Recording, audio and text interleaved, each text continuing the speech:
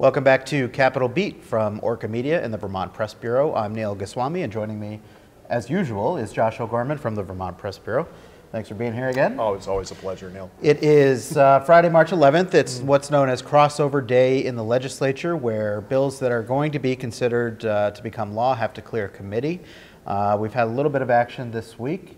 Um, earlier this week, I believe on Wednesday, uh, a DCF protection bill passed. Yeah, yeah. Uh, that's you've covered that a little bit. I've, I picked up the ball on Wednesday, uh, but that's a bill that is uh, focused on enhanced penalties for folks who either assault or uh, threaten DCF workers. Yeah, absolutely. So this is born out of, well, I mean, there's a number of things it was born out of, but probably what brought this issue to the head was the uh, killing of Lara, Lara Sobel, a DCF worker, in uh, August, uh, or pardon me, was in July, in the summer of two- 2015. Right. Uh, she was shot and killed outside her, her workplace in Barre by a disgruntled parent of a child who had been removed from Yeah. her custody.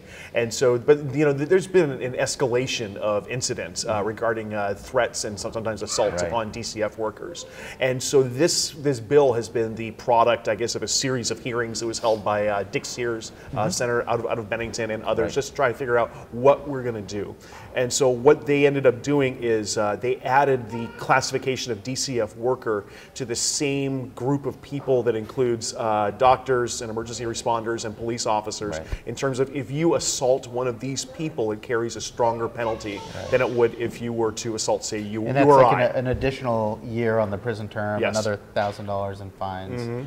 Um, and what it also did was criminalize threatening Yes. a DCF worker. And, and in many ways, I think that was the more controversial aspect of it. Uh, there was there was some, some resistance from the American Civil Liberties Union, and uh, in fact, from the uh, prosecutor in Washington County, who was actually there when La- Lara was killed. Right. Uh, some concern about actually making criminal the act of threatening somebody. Um, ACLU said, "Hey, you know, this kind of possibly impedes upon First Amendment free speech issues," and um, the prosecutor said, "You know, people just sometimes are just blowing off steam. We shouldn't necessarily jail them for it." Right. Um, there are some states that have uh, statutes that have criminalized threatening. Uh, Vermont n- never had one before. Right. Uh, before you could be jailed for such things as disorderly conduct or disturbing the peace by telephone. Um, however, uh, this actually makes the act of threatening, as long as it's a very specific threat, Right. and as long as the person receiving the threat believes that they are in immediate grave harm, Yeah. um, then uh, this is a crime now. Okay. And uh, on, on Wednesday, before passage in the Senate, um, the Senate did approve an amendment from Senator Joe Benning, uh, the Republican majority leader and a member of the uh, minority leader. Sorry. He'll, he'll appreciate I'm sure he will, being called yeah. the majority leader, uh, and a member of the Judiciary Committee that creates an affirmative defense for people charged with threatening. Um, that if they if it if they don't have the means to carry out the threat, then uh, you know then they can argue that they shouldn't be charged uh, or convicted of that crime. So uh, that bill has now cleared the Senate. It's going on to the House, and uh, we'll see what what happens from there. But that was one of the priorities of the Senate Judiciary Committee heading into the year. Uh, you covered a couple other bills this uh, this week. What else is going on? Absolutely. So uh, today, uh, the House gave its final approval to a bill related to trying to cut down on uh, what some people call timber rustling, uh, which is the stealing of people's people's trees, um, illegally harvesting and, and logging. Right. And this is something that's been an issue down in our common county, where we both both grew up in Bennington County. Right. There have been recently a series of arrests of uh, loggers who have gone out and uh, taken trees that they had no business taking.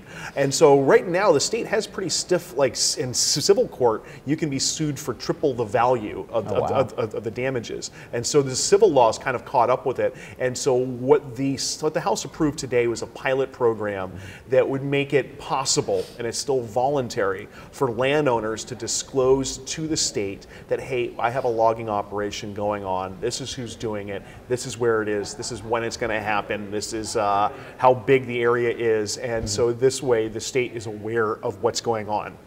And uh, what this does is follows actually another bill that's been uh, kind of content, kind of de- uh, debated a fair amount uh, this se- session, and that it would make it mandatory. And so my my view of things right now is that this voluntary bill is going to be the eventual compromise, and that the mandatory bill it maybe is just going to go away.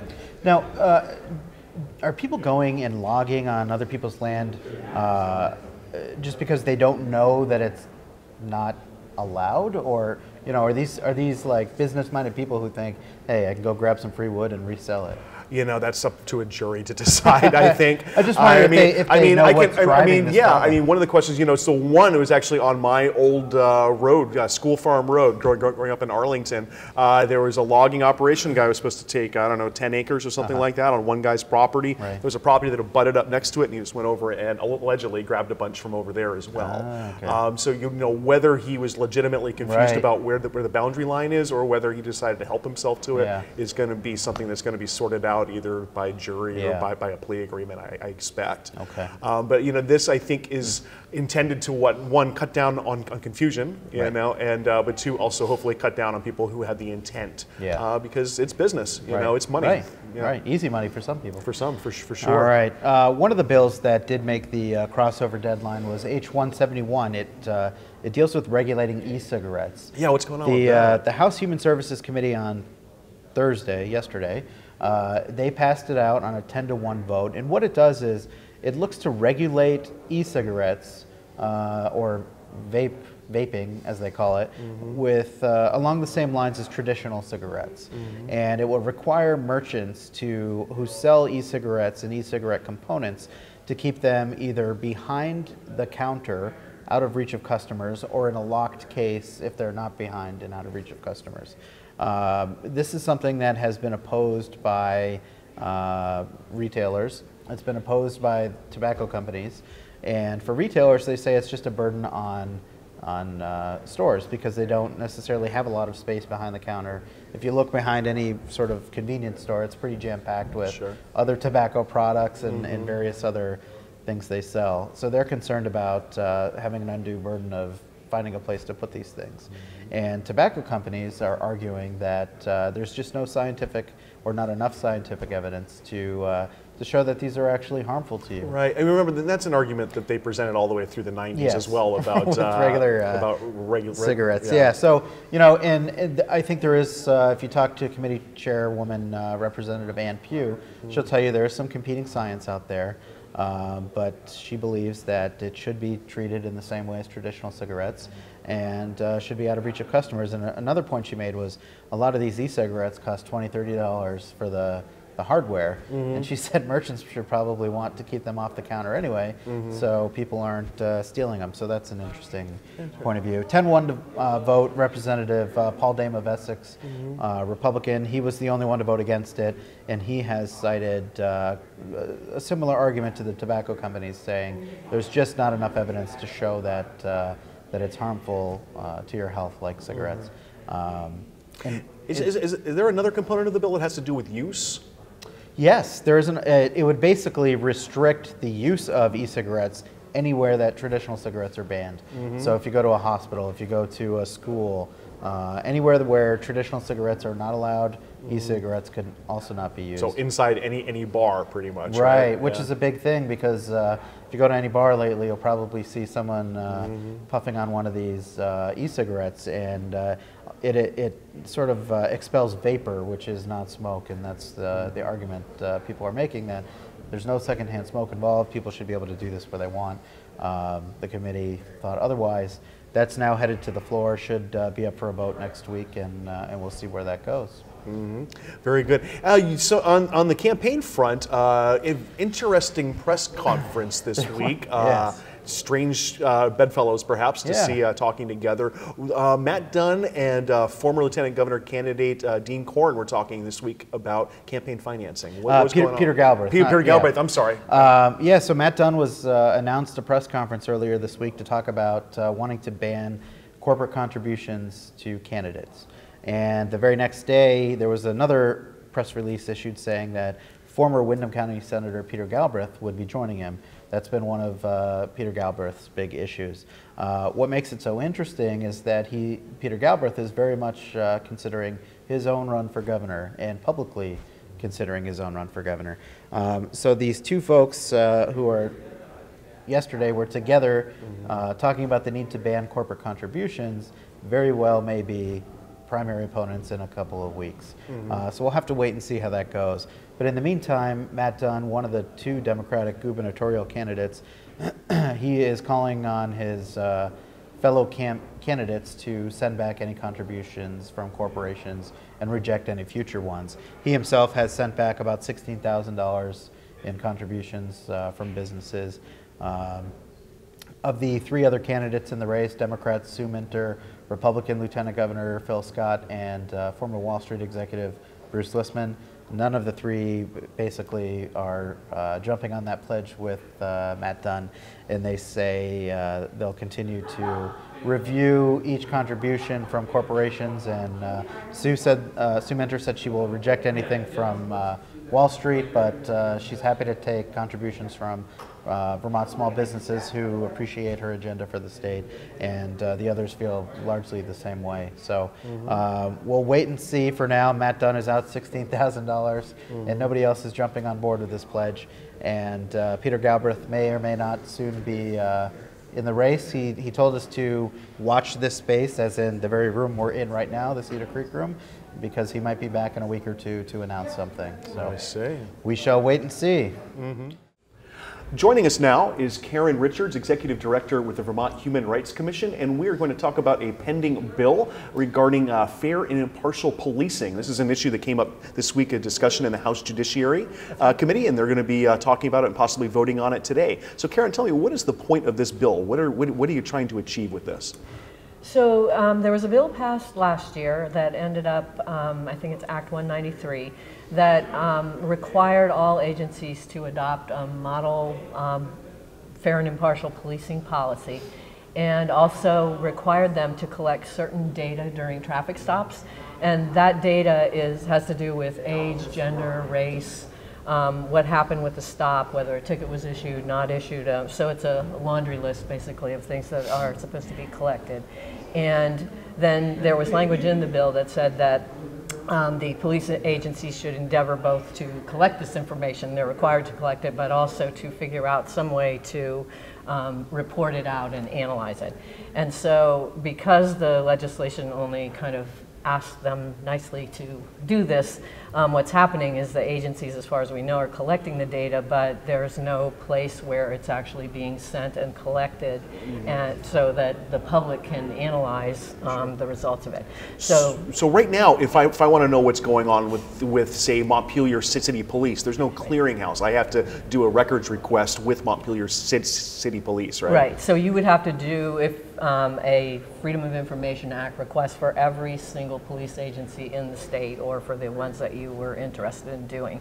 So what this bill would do would be to create essentially a central place where all police agencies on an annual basis would have to upload their information into the database and then it would be available in a format, an electronic format, and on a website where any member of the public could go on and say, okay, well, I want to know what's going on in Montpelier, or I want to look at Washington County as a whole, or I want to see what's happening with my police departments on these issues. So um, that's the main goal of it. And then the other piece of it is to ensure that every police officer in the state receives um, training on fair and impartial policing. Mm-hmm. So the way it is right now, the um, academy teaches it to new recruits, mm-hmm. and they go through a four-hour um, course that I've sat in on and um, think is very good. Mm-hmm. Um, but then once once they're through that recruit process, there's nothing requiring um, officers who have been on the job mm-hmm. to have that training. So this would require all officers to have that training, and mm-hmm. right now we're looking at by um, 2018. Mm-hmm. What kind of uh, resistance did you get to the act requiring these policies, and, and what kind of ongoing resistance do you do you feel right now? Um, really, law enforcement, um, at least at the you know the leadership level, mm-hmm. is really on board with this. I think you know looking around um, at the things that have happened around the nation, people are police officers are concerned about their image in the community mm-hmm. and um, their ability to protect and serve if they um, don't have the right. trust and respect of the community. So I think law enforcement, uh, they're not really pushing back on the concepts. Mm-hmm. It's more, you know, the resources that it takes to um, actually make sure that the data right. is in a collectible form and, right. and whether they have the um, technology and experience, technological experience to be able to upload it and do what they need to do. So, and most of us wouldn't wouldn't think that we're biased, but we have these inherent biases and, and things uh, that we subconsciously believe or feel or think. Um, so was were you finding that most law enforcement officers or most people in general were uh, were not believing that we had an issue here in Vermont?